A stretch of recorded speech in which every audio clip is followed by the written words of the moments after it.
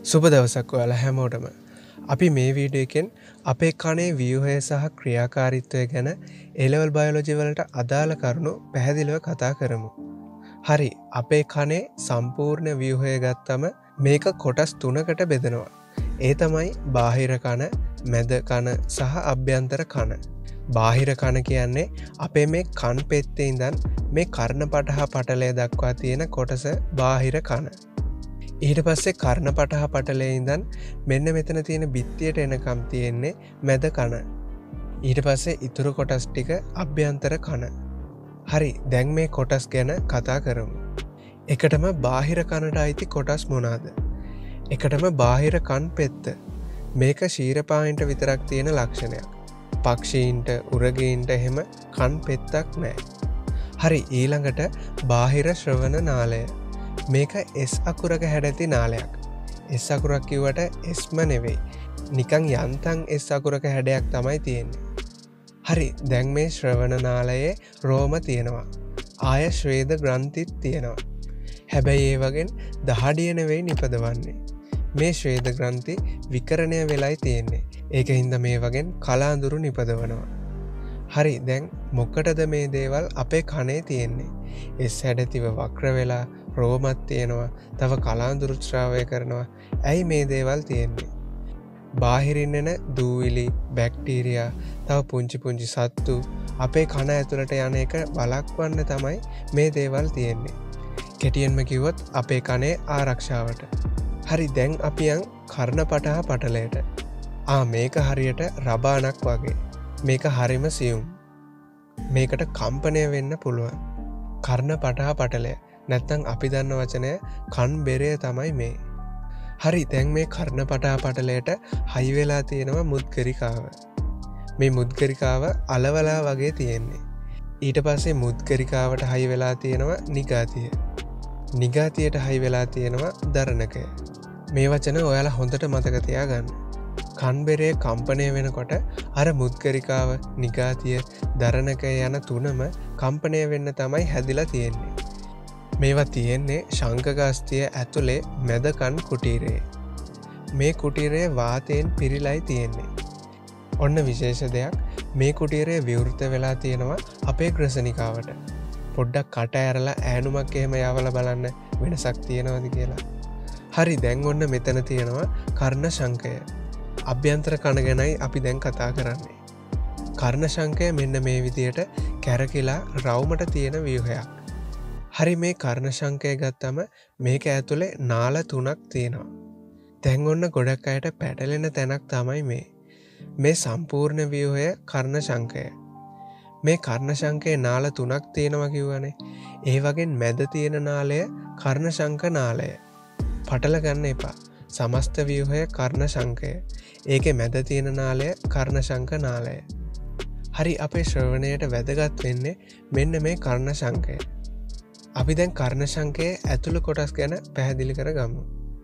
දැන් මේක නාල තුනක් තියෙනවා කිව්වනේ මෙන්න තියෙනවා ඒ නාල තුන අලින්ද නාලය කර්ණ පටහනාලය සහ කර්ණශංක නාලය. හරි දැන් මේ අලින්ද නාලයයි කර්ණශංක නාලයයි මෙතන පටලයකින් වෙන් වෙනවා. ආඒ පටලේ නම තමයි රයිස්න පටලය. හරි දැන් මේ අලින්දනාලයයි කර්ණශංකනාලයයි කර්ණ පටහා පටලයෙන් වෙන් වෙන පටලය මොකක්ද. ඒ තමයි පාදාශ්‍ර පටලය. දැන් මෙන්න මෙතනත් පටලයක් තියෙනවා. ඒක ටිකක් නැමිලයි තියෙන්නේ. ඒ තමයි ටෙක්ටම් පටලය. මේක කෙලවර නිදහස්ව තමයි තියෙන්නේ. හරි ඔන්න පටල වර්ගතුනකුත් තියෙනවා රයිස්න පටලය පාදාශ්‍ර පටලය සහ ටෙක්ටම් පටලය. හරි දැන් මේ නාල තුනම ඇතුළේ තරලයකුත් තියෙනවා. ඒ තමයි අලින්දනාලයයි කර්ණ පටහනාලයයි තියෙන්නේ එකම තරලය. ඒ දෙකේ තියෙන තරලය තමයි පරිවසා තරලය. ඊට පස්සේ කර්ණ ශංකනාලයේ තියෙන තරලය තමයි අන්තෝවසා තරලය. හරි දැන් තමයි වැදගත්ම කොටස. මේ පාදාශ්‍ර පටලේ තියෙනවා සංවේදී රෝම සයිල.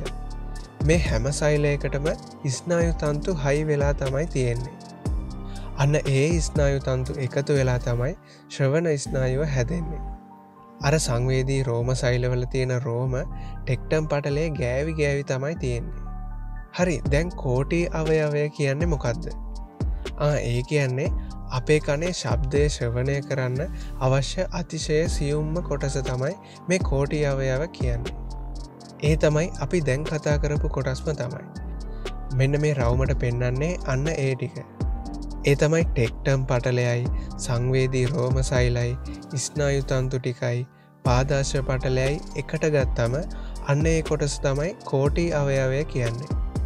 අපේ ශ්‍රවණය ඇති කරන්න මේක අතිශයෙන්ම සියුම්ම කොටසක්. හරි අපේ කනේ වියහය ගැන ඔන්න කතා කරලා ඉවරයි. දැම් බලමු අපිට ශ්‍රවණය දැනෙන්නේ කොහොමද කියලා. හරි ඔන්න දැන් මේ විදියට ධ්වනි තරංග එනවා. එකටම අපේ කන් පෙත්තෙන් කරන්නේ මේ එන ධ්වනි තරංග සාන්ද්‍රණය කරලා බාහිර ශ්‍රවණනාලයට එවනවා. හරි දැන් මෙහෙමාපු ධොනි තරංග ටිකට අදාළව මෙතන කරණ පටහා පටලය කම්පනය වෙනවා. හරි එහෙම කර්ණ පටහා පටලේ කම්පනය වෙද්දී ඒකට සම්බන්ධ වෙලා තියෙන මුද්ගරිකාව නිගාතිය සහ දරණක යන කොටස් පිළිවෙලට කම්පනය වෙන්න පටන් ගන්නවා. දැන් මේ තුනෙන් කෙරෙන්නේ මොකක්ද දන්නවාද. මුද්ගරිකාවට වඩා නිගාතිය පොඩි. නිගාතියට වඩා දරණකය පොඩි. ආ ඒක හින්දා අර පැත්තෙන් එන කම්පන සංඛ්‍යාව මේ පැත්තට එද්දි වැඩි කරලා දෙනවා. කම්පන සංඛ්‍යාව වැඩි කරලා දෙනවා. හරි දැන් දරණකය කම්පනය වෙද්දී කර්ණ සංකේ තියෙන අලින්දනාලයේ කම්පන තරංග ඇති වෙනවා. එතකොට මොන තරලයේද මේ තරංග ඇති වෙන්නේ අලින්දනාලයේ තියෙන පරිවසා තරලය තමයි මේ තරංග ඇති වෙන්නේ. ඊට පස්සේ මේ තරංග සෙට් එකම අන්තෝවසා තරලයට සම්ප්‍රේෂණය වෙනවා. අන්තෝවසා තරලය තියෙන්නේ කොහෙද කර්ණශංක නාලයේ තමයි තියෙන්නේ. හරි දැන් ඔන්න අන්තෝවසා තරලය කම්පන ඇති වෙනවා. ඒකට අදාළව දැන් පාදාශ පටලය කම්පනය වෙන්න ගන්නවා. පාදාශ පටලය කම්පනය වෙද්දි අර සංවේදී රෝම සයිල සෙට් එකම උඩට පහලට චලනය වෙන්න ගන්නවා. ඔයාලට මතකයි මං ඉස්සල්ල කිව්වා මේ සංවේදී රෝම සයිලවල තියෙන රෝම ටික ඊට උඩින් තියෙන ටෙක්ටම් පටලේ ගෑවි ගෑවි තමයි තියෙන්නේ. දැන් මේ රෝම කම්පනය වෙනකොට රෝම සයිල ටික උඩට යද්දි අර ටෙක්ටම් පටලේ වැදිලා රෝම ටික නැමෙනවා. අන්න ඒ මොහොතෙදි තමයි මේ සංවේදී රෝම සයිලවලින් ආවේගයක් හටගන්නේ.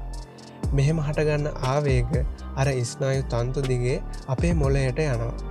ඊට පස්සේ අපිට දැන් පුළුවන් ඇහෙන දේ හඳුන ගන්න.